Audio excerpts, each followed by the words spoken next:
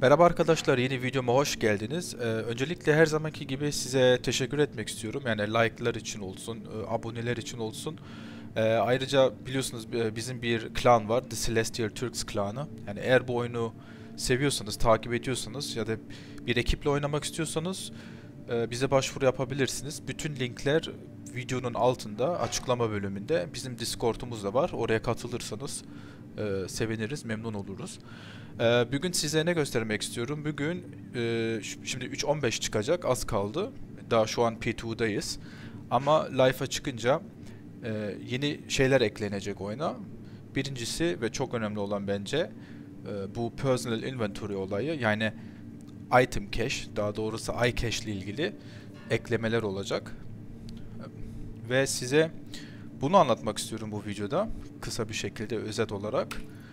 Şimdi I harfini tıkladığınızda bu yeni bir pencere açılıyor. Öyle diyeyim. Ama ilk önce şunu söylemek istiyorum size. Neden bu iCache'i ya da item cache'i koydular oyuna? Ee, çünkü CIG yani biraz daha gerçekçi olsun istiyor.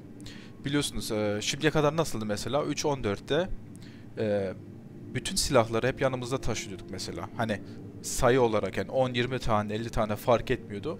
Her şey yanımızda taşırdık. Su- Suitler olsun, artık e, silah olsun, işte medpenler bir sürü şey yanımızda taşıyorduk ve bu aslında gerçekçi değil. Yani CIG bundan sonra diyor ki artık taşıyabildiğin kadar taşıman lazım diyor. Hani taşıyabilirsin diyor. E, ve bu bence daha güzel oldu. Ve üstelik hani gameplay açısından e, katkı yapacak bana kalırsa. Çünkü artık bir yere git bir yere gittiğinizde bir mekana gittiğinizde e, düşünmeniz lazım artık yanıma ne almam gerekiyor. Hangi silah almam lazım ya da hangi suit'i giymem lazım.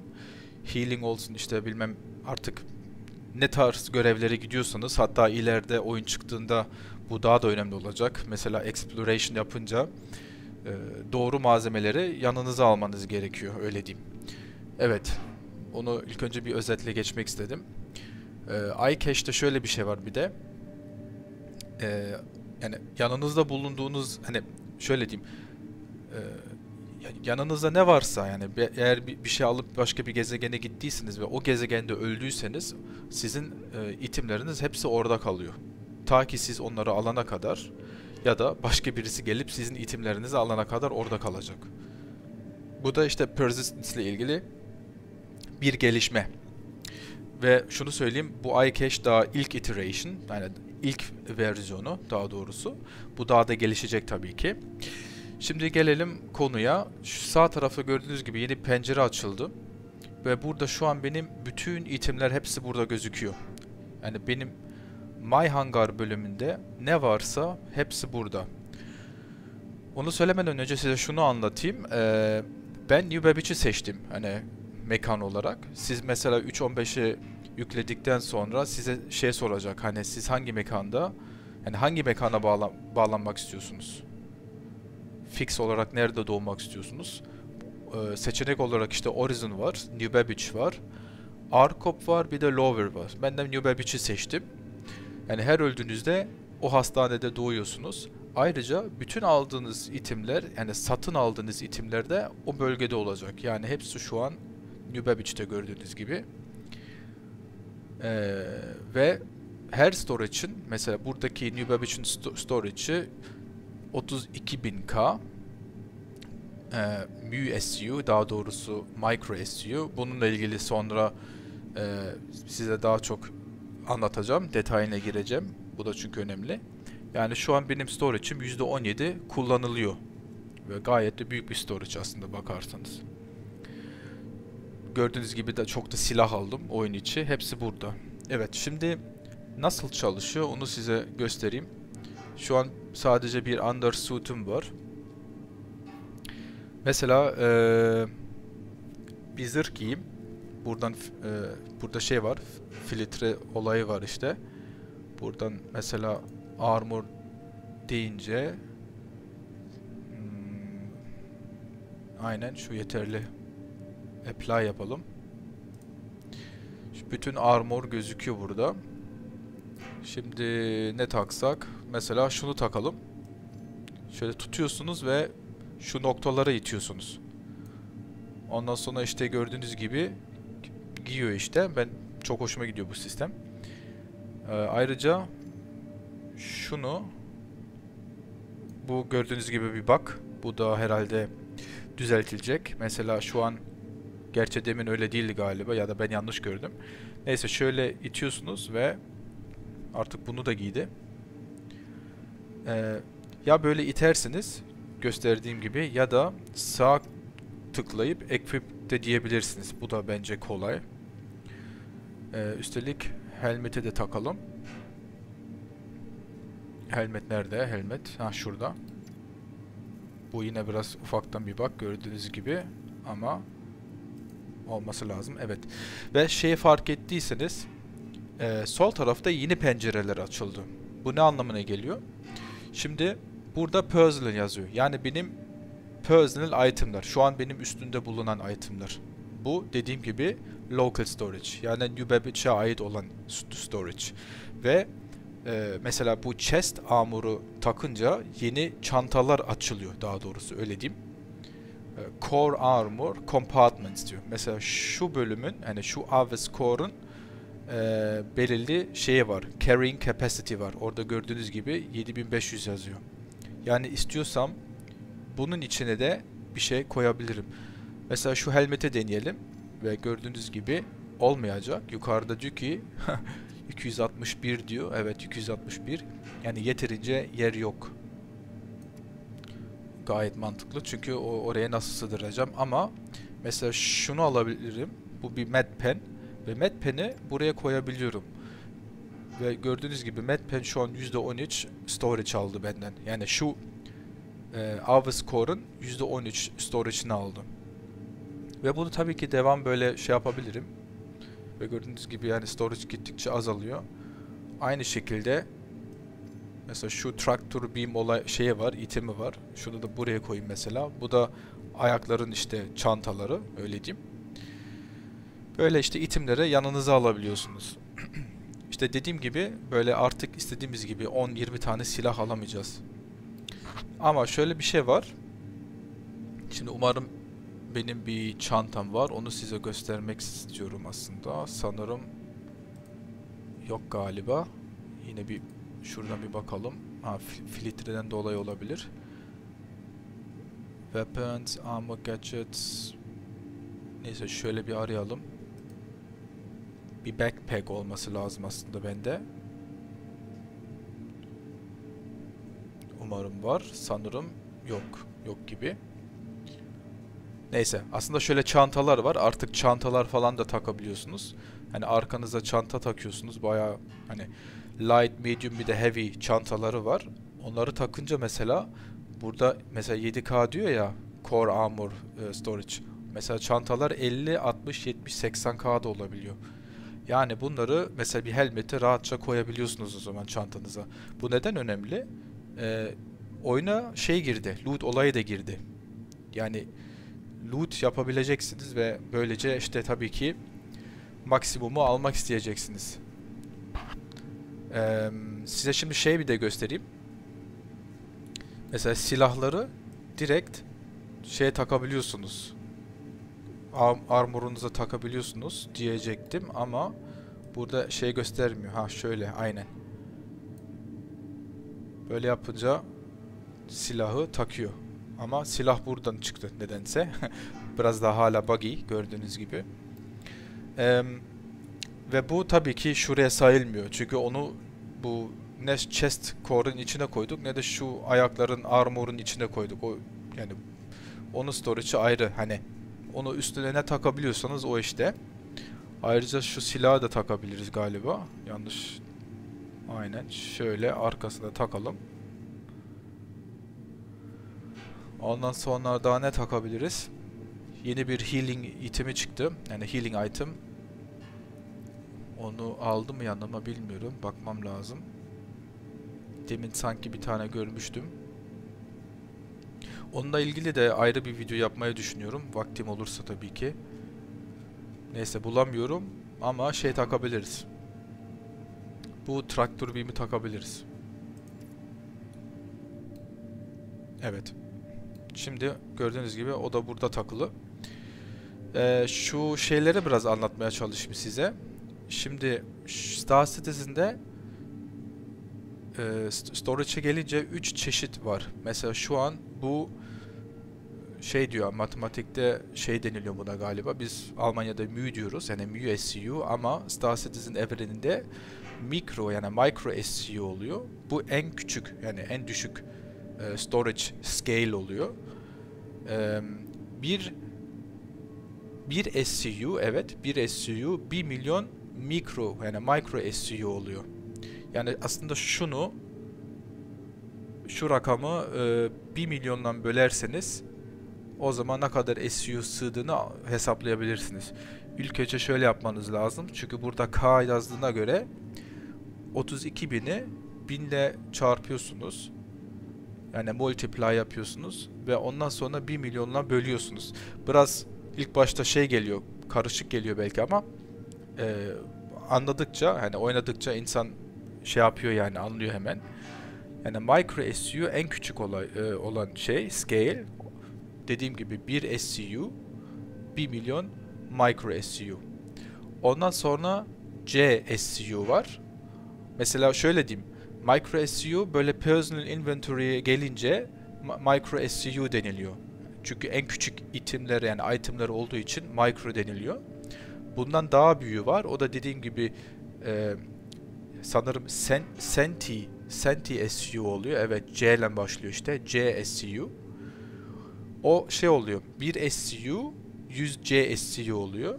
Ve ondan sonra en büyük şey, e, şey e, scale'de Standard Cargo Units SCU zaten dediğim gibi. Evet şimdi bu Personal Inventory ve Local Storage oluyor. Ve aynı olay gemide de geçiyor. Hani geminin de kendi st storage'ı var arkadaşlar. Ee, her geminin storage'ı farklı tabii ki. Bir Cutlass Blacked Storage'ı sanırım 1500k. Ee, bir Karan Storage'ı 8500k. Daha da çok. Yani mantıklı çünkü daha büyük bir gemi. Ve bu storage olayını orada da size göstermek istiyorum.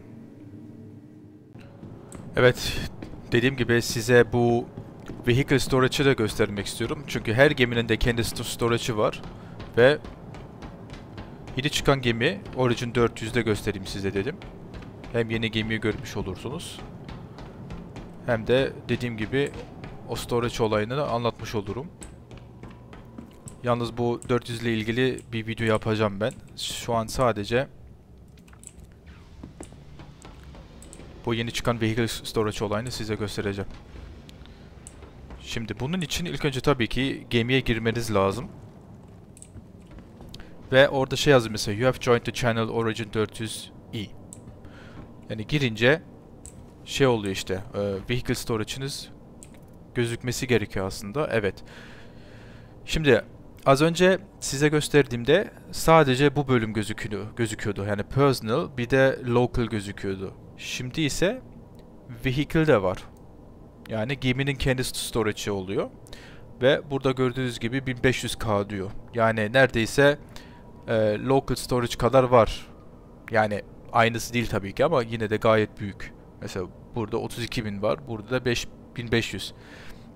Aslında saçmalım daha 32.000 daha da çok tabii ki. Yani gayet daha fazla local, local storage var. Ama bazı gemilerde mesela Karak'ta 8-9 bin olunca yani neredeyse bu local storage'e yaklaşıyor.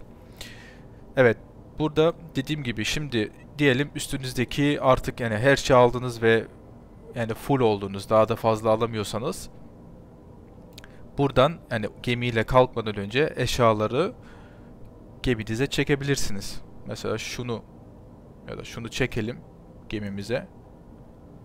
Şu tişörtü de çekelim. Lazım olmayacak. Aslında tişörtü çektim ama bu çıktı nedense ya da ben yanlış tıkladım. Ama işte göstermek amacıyla ve gördüğünüz gibi şu an %7 gem, yani geminin storage'ı %7 kullanılıyor. Bu bence şey için çok önemli. Hani mesela loot yapmak istiyorsanız, bir bölgeye gitmek istiyorsanız bu işte storage capacity tabii ki çok önemli olacak. Ayrıca şöyle de olabiliyor. Personal Inventory'den Vehicle Storage'ı da geçebilirsiniz. Böylece mesela şöyle yapmanız gerekiyor. Üstündekini gemiye de koyabilirim mesela. Evet. Şimdi gemiye aktardım. Ee, aslında size demin bir şey gösterecektim. Onu da unuttum. Mesela istiyorsanız bazı şeyleri direkt yani karakterinin eline de verebiliyorsunuz. Aslında böyle evet. Şimdi elinde tutuyor. Ama işte dediğim gibi P2'dayız şu an. Biraz da hala buggy yani bug'lı. Ee, yalnız bu mümkün oluyor. Şimdi şöyle de bir şey var. Ee, şunu deneyim olmazsa bir şey de yere atmak istiyorsanız şuradaki el işaretinin üstüne koyuyorsunuz ya da çekiyorsunuz. O zaman aslında paketleyecek galiba. Yok bunu direkt yere atıyor sanırım. Ama daha büyük eşyaları mesela şunu herhalde paketleyip arkada gördünüz mü? Paket geldi. Ee, mesela şunu da paketleyecek sanırım. Evet. Bu paket olayı şimdilik biraz komik gözüküyor evet. Bunu CIG şöyle dedi. Geçici bir süre için sadece böyle. Yani böyle kısa bir çözüm için. Bununla ilgili daha çalışmalar var. Şimdi paketler deminki paket nerede onu göremiyorum. Kayboldu galiba. Despawn oldu ama bu demin işte o attığım tişört ve üstünde zaten yazıyor Core Armor. Bunu mesela açabiliyorsun. Ve yeni bir pencere açıldı. Bu da arkadaşlar External Storage. Evet. Böylece bütün 4 kategoriyi anlatmış oldum. Personal Storage, üstündeki olan eşyalar. Local Storage, şehirlerde olan eşyalar. Vehicle Storage de gemide olan eşyalar. Ve External Storage, şöyle düşünün. Kutularda ya da bazı gemilerde ee, yani geminin dışında veya geminin içinde de ko koyulacak yerler var. Buna da external storage deniliyor. Ve aslında şunun içinde tişört olması lazım ama göremiyorum. Bu işte bir bak. Ama aslında şunu grab desem ne oluyor? Grab ve store olmuyor. Storing unavailable. Normalinde şöyle loot yapsam equip Ah, şimdi de equip yaptı. böyle oldu. Ee, yani böyle olmaması lazım tabii ki. İnşallah e, gelecek patchlerde, hotfixlerde bunu düzeltilir CIG. Evet, videonun sonuna geldik diyecektim. Ama aklıma çok önemli bir şey geldi. Onu da size göstereyim. Evet, tekrardan hoş geldiniz. Az önce ben bir crash yedim. Yani oyunum takıldı. O yüzden yine oyuna girmem gerekiyordu. Evet, nerede kalmıştık? Size şey gösterecektim. O da çok önemli. Ee, iCache ile ilgili sadece bizim personal inventory değil ya da storage'ler değil. Ayrıca gemilerin silahları da var işte. Bu silahları nereye koyuyorlar? Onu, onu da size göstermek istiyorum. Yeni bir app çıktı. Nicknax denilen bir app. Orada ee, kısa bir şekilde şöyle anlatayım. Sizin eşyalarınızın nerede olduğunu gösteriyor. Hani özetini gösteriyor. Mesela şu an Microtech'teyim ya oraya açınca New Babbage'de artık neyim ne varsa hepsini gösteriyor. Ee, silahların itimlerini görmek istiyorsanız zaten burada Vehicle Weapons'a girdiğinizde bütün silahları gösteriyor. Ayrıca demin ha gemileri görmek istiyorsanız burada gemileri gösteriyor işte. E, şimdi şunu düşünün. Yani şunu hesaplamanız gerekiyor. Siz mesela New Babbage'i seçtiyseniz e, şey olarak, e, bağlantı noktası olarak ya da doğum yeri olarak o zaman bütün gemileriniz hepsi burada olacak. Ve başka bir gezegene gittiğinizde ya da başka bir istasyona gittiğinizde orada bütün gemileriniz hep claim olarak gözükecek. Yani orada claim yapmanız gerekiyor. Yani bütün silahlar da hepsi şu an New Babbage'de. Yani silahları da nasıl ileride öbür outpostlara aktaracağız onu tam bilmiyorum. Ee, evet onu söyleyecektim. Umarım video beğendiniz arkadaşlar ve bir like atarsınız. Dediğim gibi bizim klanımız var ya da Discord'a katılırsanız seviniriz. Hadi hoşçakalın. Kendinize iyi bakın. Bye.